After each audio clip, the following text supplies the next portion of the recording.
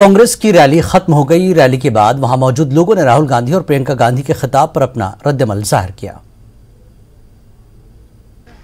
बर्फबारी कल रात से ही हो रही थी। लगता नहीं था कि यहाँ पे एसके स्टेडियम में रैली होगी, लेकिन रैली हुई। इससे अंदाज़ा लगता है कि जो कांग्रेस है, उन्होंने अपना मन बना लिया है। एक असरदार अपोजिशन का रैली खत्म हुई। कई लोगों ने तकारीर की खास तौर पे उमर अब्दुल्ला, प्रियंका गांधी और राहुल गांधी ने।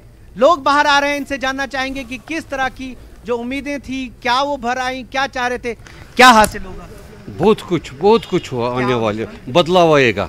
क्या बदलाव? बदलाव आएगा। आप क्या बदलाव चाहते हैं? हम ये बीजेपी हुकूमत नहीं चाहते है। जुल्म हो रही है कश्मीर में। जम्मू में कश्मीर में। ज़मीन की नफरत की बातें कर रही है ये। राहुल जी आए भाईचारा के लिए आए यहाँ पे। आप बात कीजिए आप क्या बता रहे जी, हमें बहुत सारी उम्मीदें हैं राहुल जी से। इसलिए हम यहाँ आए हैं, बदलाव चाहते हैं, एक उम्मीद लेकर आए हैं, एक आशा की किरण लेके आए हैं।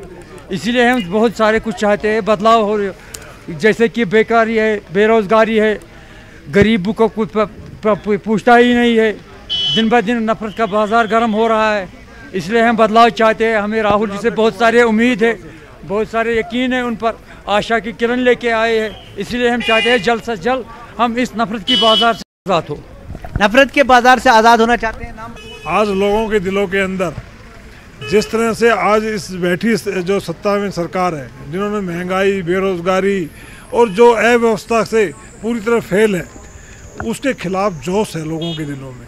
और राहुल गांधी जी ने ये सिद्ध करके दिखाया है कि जो कन्याकुमारी से और श्रीनगर यहाँ पहुँचे हैं वो लोगों की आवाज़ बनकर पहुँचे हैं। एक उम्मीद है राहुल जी के साथ हमारी एक उम्मीद जुड़ी हुई है कि देखिए जो अपना ये भाजपा सरकार थी इन्होंने हमारा स्टेट हुड लिया।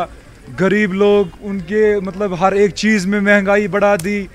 मतलब गरीब लोगों को बहुत तंग कर दिया भाजपा सरकार ने। हमारा बस एक मोटिव इस टाइम बस राहुल जी की सरकार आए और हम सब इस टाइम पूरे मिल के राहुल जी के साथ इनका सपोर्ट कर रहे हैं। फुली सपोर्ट है राहुल जी का हमारे साथ। अब्दुल गनी तुझे तार सिरी आ आ सर जी मुझे ओ तुझ क्या अस राहुल जी मूजूब शौक अहद क्या जुलम चलान वगर अस खिलाफ क्या गछ ये रैली करित तो क्या इंशाल्लाह फतह सन इंशाल्लाह। तुझे कांग्रेस पर आ कांग्रेस कर हाँ तुझे बासान ये युस ये रैली गई ये ई कांग्रेस का फ़ायदा सीटन मज इलेक्शन आ वार वारिया वारिया वारिया। वारिया लुकन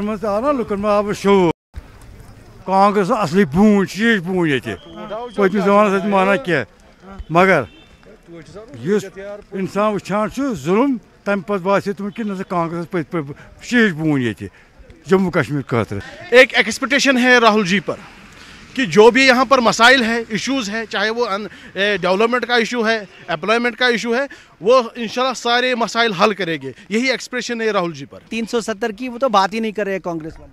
क्यों नहीं करे 370 पे बात?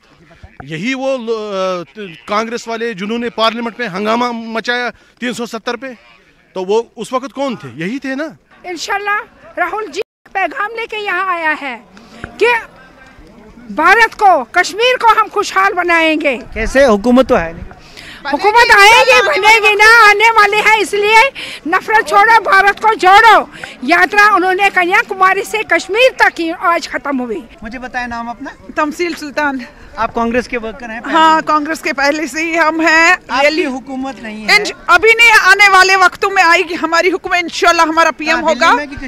दिल्ली में भी कश्मीर में भी ये हमारा खाब एक है सपना है नौजवानों का। अब कांग्रेस की हुकूमत आनी चाहिए जम्मू कश्मीर। थैंक इसका पोलिटिकल फ़ायदा हो या ना हो वोटों का फ़ायदा हो या ना हो, लेकिन एक चीज़ जो हुई है, जो कांग्रेस के वर्कर हैं, उनमें एक जोश आ गया है और जो इलाकाई पार्टियाँ यहाँ पे है, लोकल पार्टीज़ है, उन्हें एक उम्मीद पैदा हो गई है कि कांग्रेस के साथ मिलके वो एक असरदार अपोजिशन बना सकते हैं, जो जमहूरियत के लिए काफ़ी अहम है। जहांगीर अज़ीज़ के साथ शबीर अहमद, न्यूज़ 18 श्रीनगर।